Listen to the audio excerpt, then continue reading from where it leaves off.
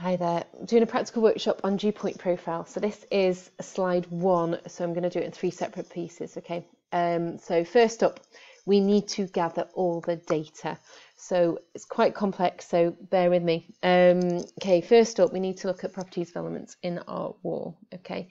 So we need three main things. We're looking at temperature and we're looking at dew point, so we need to know vapor pressure um, within the air, okay? Because we need to know um, when the dew point is going to happen. So that involves relative humidity and the vapor pressure.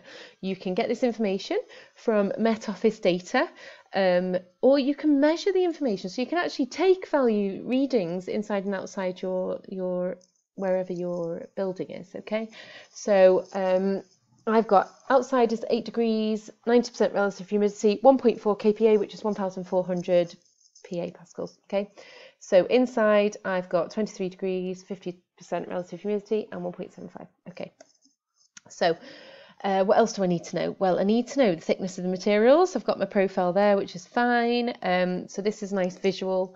And then I've just written it there. Plasterwork in meters, blockwork, cavity, brickwork in meters, not in millimeters or centimeters, because as you can see, conductivity is watts per meter Kelvin and vapor resistive is uh, per meter squared. So you need to bear in mind, you need to get the values the same. Okay, um, so I've got a little table there just showing you for each material how conductive it is um, in terms of heat and then how resistive it is in terms of vapor.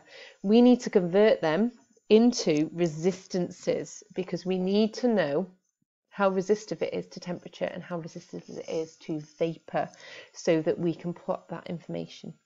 So here is a lovely table.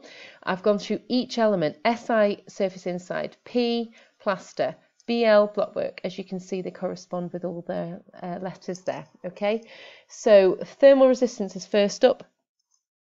I only have conductivity. How do I find out the resistance? Well, watts per meter Kelvin? For me to work out the resistance, I need the depth because I need to know um, the per area, okay, um, how resistive it is traveling through an area, right? So what I do is I get the depth of the material and then I divide the conductivity by that. So I inverse it and turn it from a conductivity into a resistivity value.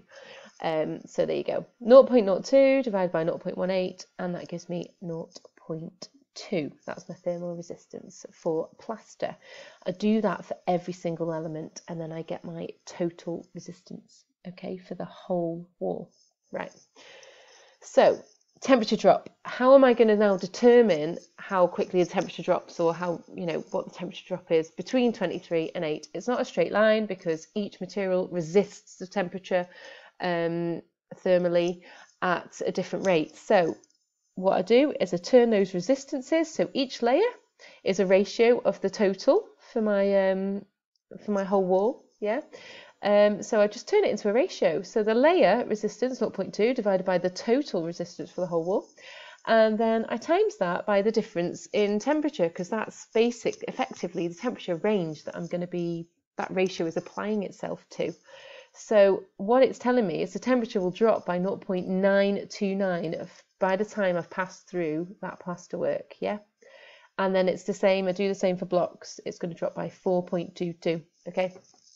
Keep going, keep going, and then you should find that the sum of all the temperatures should add up to 15 degrees because that is the difference between 23 out inside and 8 outside. So you should find that 15 degree delta T, yeah, difference in temperature, all of these values should add up to there. And that's how you know you've done it right. and then you do the same for the boundary. You've got 23 outside, so what we want to say is, well, we know how much it drops per um, degree, right? We know how much it, it drops per material, uh, but we're going to put a value to it now. So on the inside, it's 23 degrees. Well, by the time it's gone through plaster and it's dropped by 0.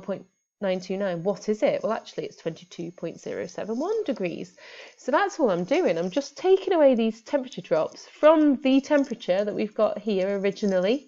And then we should end up from 23 to 8, and we should have at each boundary, so each line, between each material, there is a temperature there. So that's lovely. Um, so once we've done that, we literally apply it to vapor. We do exactly the same process with vapor. All we do with vapor, because we've already got the resistance, it's not the conductivity of vapor, it's the resistance, we've already got that. All we're doing is timesing that by the depth for us to get the resistance, okay? So 60, which I had as my vapor resistance, right? Um, and I'm timesing that by 0.02. Just bear in mind I've got mega newton meter squared, right, and mega newton there. So make sure your um, your values are the same. If it was in newtons, you'd need to convert that to newtons, etc., etc. Okay, so just make sure you're aware of that. Okay, so 60 times 0.02 gives me 1.2 uh, for plaster, blockwork, brick, um, sorry, cavity, brickwork. So because I've got the resistivity, I can just work that out quite easily. And then I've got my total resistance throughout the whole material. I do exactly the same as I did from temperature up here, sorry, um, across here, pressure drop. I'm divided, so I basically get my resistance of my uh, plaster.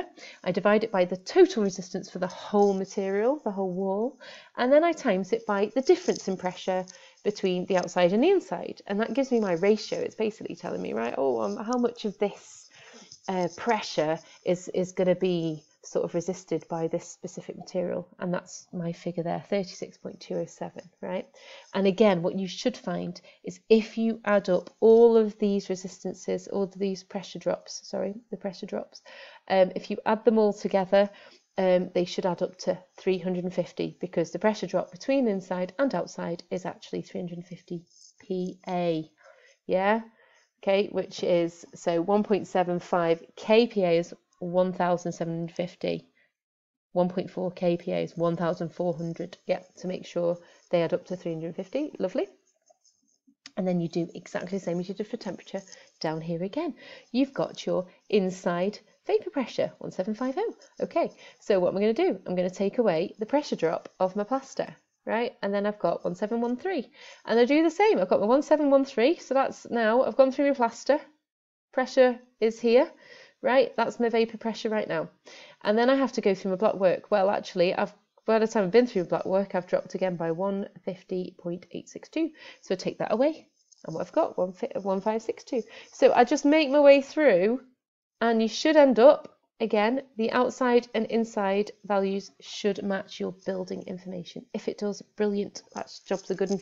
All right, so we'll move on to the next slide. So thank you for your time and uh, yeah, good luck with that.